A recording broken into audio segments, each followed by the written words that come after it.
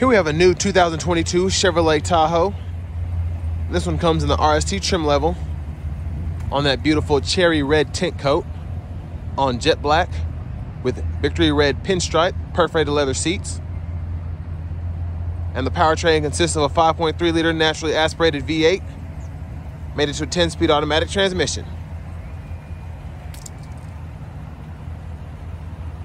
So as we get to the front end here, of course we have our blacked out grille along with the black badging, LED headlamps along with LED daytime running lights.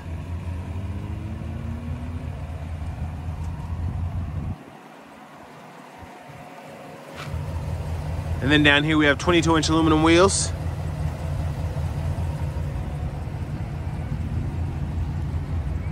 Passive keyless entry on all four doors.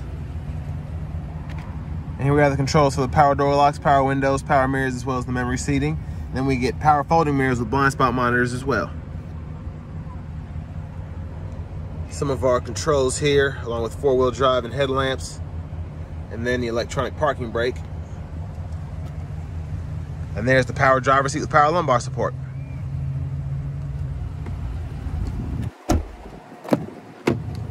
Now onto the rear seat. Now, of course, this one's folded down, and to fold it down, you just have to hit this twice, and then to put it back up, you just lift on it. just requires a little bit of oomph to it. And then to slide it back and forth, you pull up on this lever here and push.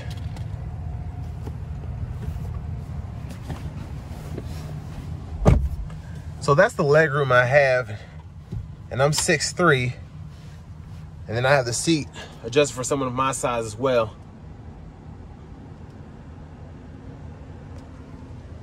And down here we have our automatic rear AC controls, so you can mess with the fan speed, mess with the temperature, and then put in the auto mode, and then you can have it set to be, let's say 74 degrees back here, and you can do that. And of course we have heated three-stage seats for the outboard passengers, two USB-C charging ports, and then three-prong household plug-in so I think that puts in 110, 120 volts. And there's our panoramic sunroof. Goes all the way back to the back of the second row as you can see. So pretty good size. And there's our third row. And then you see how I'm sitting here. So let's go ahead and check out how the third row is. Sitting right behind that seat. So Technically, I can fit back here. Of course, my knees are against the back of the seat. But if I had a little bit more, probably if I move the second row up a click, I could fit back here. And then I still have a little bit of space there as well. So you can fit three full-size adults, one behind the other. But if you start coming six five, six six, long legs, you're gonna be in trouble anyway, no matter what you're looking at. and of course, we have the vents here and then in that third row as well. But onto the cargo space.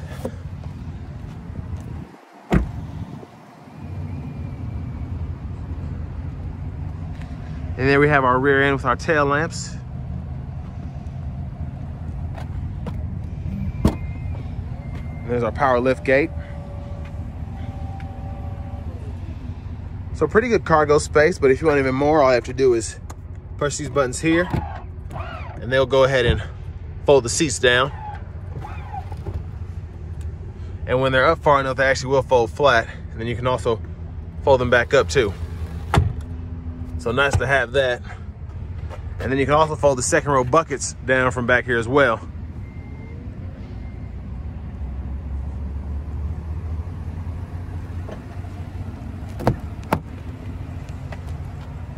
There we have our power passenger seat with power lumbar support.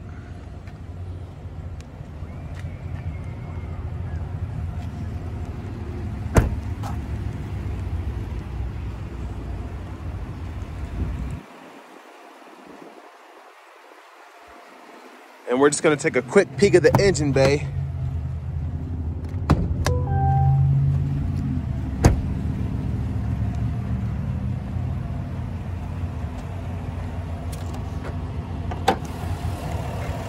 And there's that 5.3 liter V8, which is mostly covered up. But you can get a quick peek down there.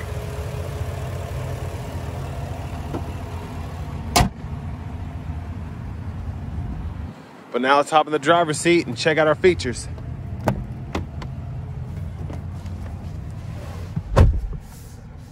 So leather wrap steering wheel here, which we can heat, hitting this button there.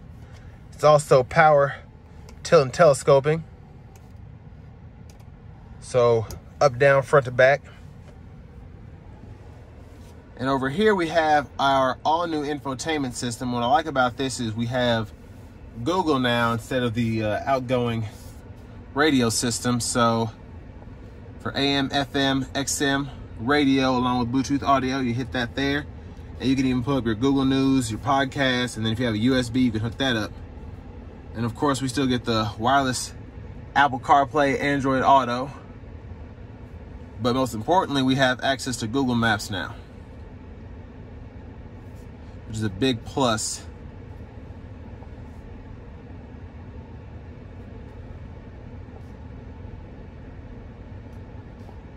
So just showing what each button does. Of course, you get Google Assistant. Then you have the Wi-Fi hotspot. And then let me just show you the the home page there. I like. You have your audio source hooked up here. So let's say you're playing a song. And you can also have your maps up as well. So you can control both of them on the same screen. And there's our backup cam. And you also have that bird's eye view as well. Front camera, curbside camera, and then you're backing the trailer up. And then for our shifter, press P for park, pull up for reverse, press down for neutral, pull up for drive, press that L for low, and then you can shift here. And then we have our volume knob, and then radio track list knob here, home button, then you can seek, back button. And then we have our dual zone automatic climate controls here with our three stage heated seats for the front driver and front passenger. And you can either do the seat back or you can do the seat back and the bottom. Wireless charging pad with the USB-C and USB-A input there. Now your cup holders. Pretty good size center console cubby space with this removable tray here. And then you also have two more USB ports, a USB-C and a USB-A. And then one touch sliding and tilting sunroof here. And then we can just pull that shade with the touch of a button as well. So we have our universal home remote here. We can actually control our hatch from here. So you can fold your third row seats by just hitting this button here to fold down and fold up. Let's say you don't want to get out of the car and somebody's putting something in there. You just touch the button. Now to the left side of the steering wheel, we have our cruise controls. That heated steering wheel I was talking about earlier, the forward collision gap adjust there, Bluetooth controls, and then we can go through our gauge cluster here, which I'll check out in a minute, along with the Bluetooth controls there. And then track list or radio station controls here, up and down, and then volume controls over here. Now onto this new digital gauge cluster display here. There's just so much to check out. I really like this drive summary here because based on each drive, you can check out the distance, check out the miles per gallon you were getting, and then how long the engine was actually running.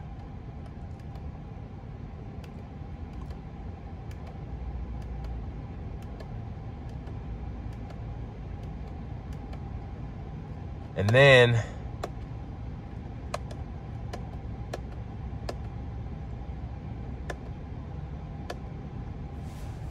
we have our drive modes and then you'll see here it'll change on the tachometer side which I really love that's probably my favorite thing about this gauge cluster.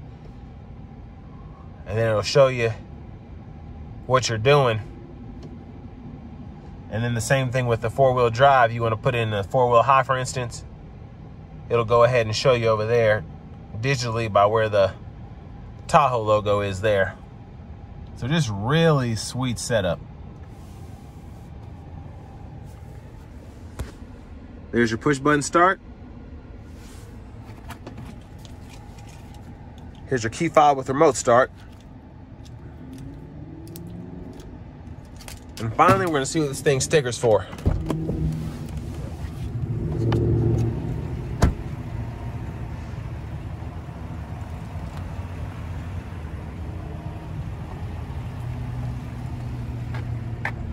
So there's that sticker price there, 68,285. And this one has that luxury package. So you get the heated second row seats, the power second row and third row. And then you can see the cost of the roof and all that.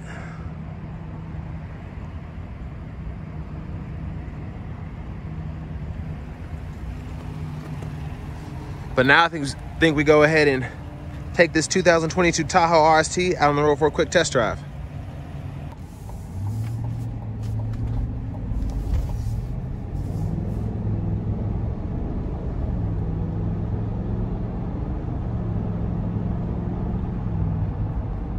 So right off the bat, like in every other vehicle I've driven with this 10-speed automatic, just seamless shifts, absolutely seamless.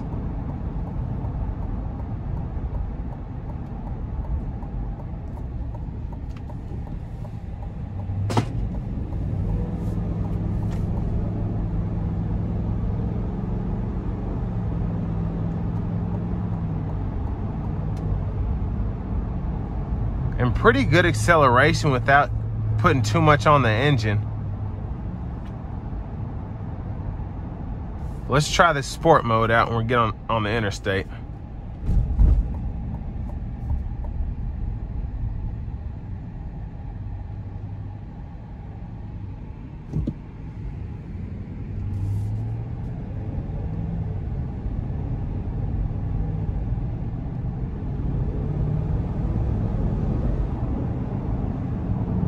And still the shifts are not clunky at all in this sport mode, which is fantastic because most vehicles that I drive, when they have a sport mode, the shifts are harsh.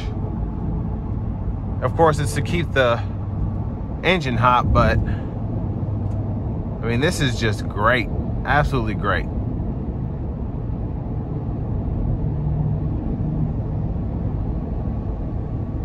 So we're gonna get a chance to throw it back here in a second. Just fantastic power, absolutely fantastic. And that sport mode really brings it out.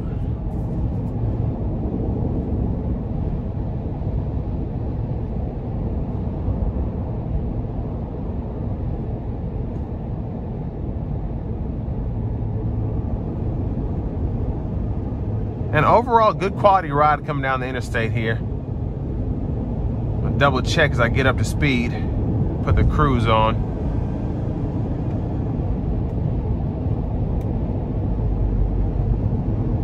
Yeah, really nice, really nice ride. And pretty good sound acoustics in the cabin as well. Not a lot of wind noise.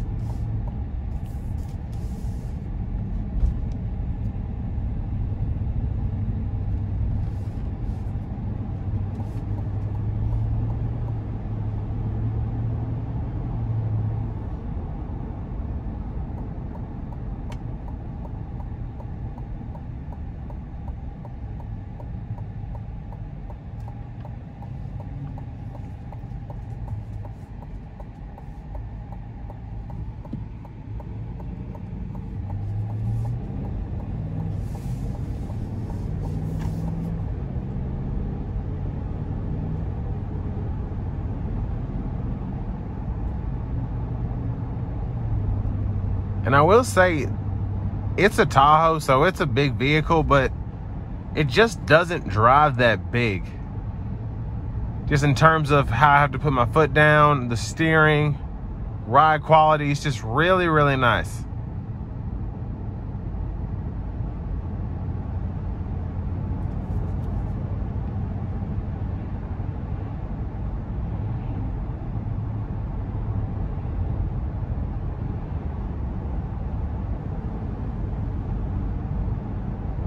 Actually, I would have expected this ride to be a little harsher with these 22s on here, but the ride quality is not bad at all. Really impressive.